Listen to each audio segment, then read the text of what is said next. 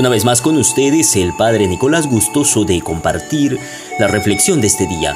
Hoy leemos el Evangelio según San Juan en el capítulo 10 versículos 31 al 42. En aquel tiempo los judíos agarraron piedras para apedrear a Jesús. Él les replicó, Les he hecho ver muchas obras buenas por encargo de mi Padre, ¿por cuál de ellas me apedrean? Los judíos le contestaron, No te apedreamos por una obra buena, sino por una blasfemia porque tú, siendo un hombre, te haces Dios. Jesús les replicó, ¿no está escrito en su ley, yo les digo, sean dioses? Si la escritura llama dioses a aquellos a quienes vino la palabra de Dios y no puede fallar la escritura a quien el Padre consagró y envió al mundo, ¿dicen ustedes blasfemas? Porque he dicho, soy hijo de Dios.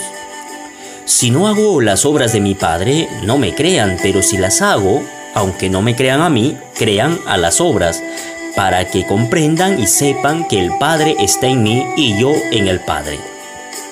Intentaron de nuevo detenerlo, pero se les escabulló de las manos. Se marchó de nuevo al otro lado del Jordán, al lugar donde antes había bautizado Juan, y se quedó allí. Muchos acudieron a él y decían, Juan no hizo ningún signo, pero todo lo que Juan dijo de éste era verdad, y muchos creyeron en él allí. Palabra del Señor. Nos acercamos más a la celebración de la Semana Santa y este Evangelio, según San Juan, pues nos está invitando ya a contemplar el misterio de la muerte de Jesús como resultado de sus obras que hace y porque Él es el enviado.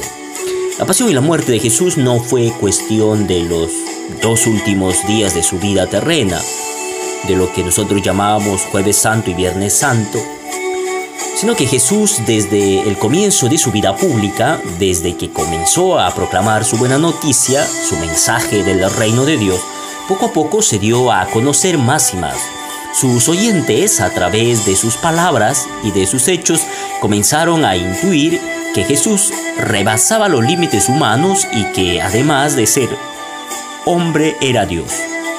Entre sus oyentes había personas que quedaban emocionadas con él y le seguían por su palabra y por los signos y por los milagros. Y otras, en cambio, le rechazaban.